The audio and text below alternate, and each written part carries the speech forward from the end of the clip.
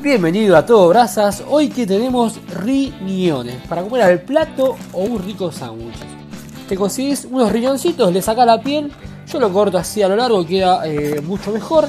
Y lo macero, señor, con, que con limón y unos ajos. Ahí lo dejamos descansar y vamos picando las verduras. Ahí como, mirá, como apretás el, el, ajo, sale mucho más fácil la piel. Abajo detallo eh, los ingredientes y las cantidades. Cuando tenemos todo picado, vamos a la plancha bien caliente, ahí tiramos la manteca saborizada y tiramos los riñones.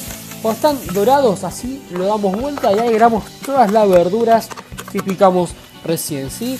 La cocción total te va a llevar aproximadamente 30 minutos. Con el condimento, sal, pimienta, ají molido y vino blanco. ¿sí? Ahí vamos a tostar el pan, te guardás esa salsita y acá te armás un terrible sándwich con la salsa. Muy fácil, hacelo, después me contás.